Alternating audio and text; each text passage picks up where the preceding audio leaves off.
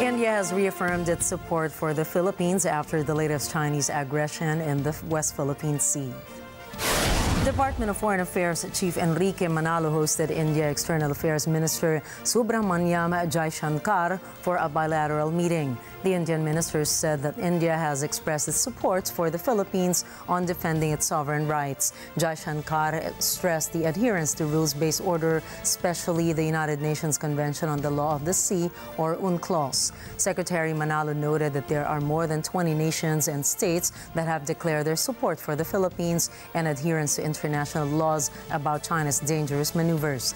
The Philippines remained firm on the effect of the 2016 arbitral awards despite China's dismissal of the ruling.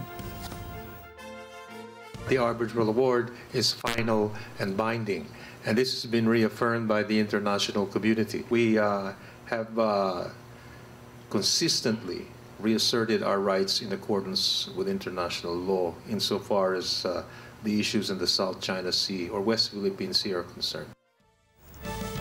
Meanwhile, the two foreign ministers have agreed to reinforce the maritime and defense cooperation between Philippines and India. Manalo noted that there will be a maritime dialogue between the two nations to discuss all possible areas of cooperation to achieve open and peaceful Indo-Pacific.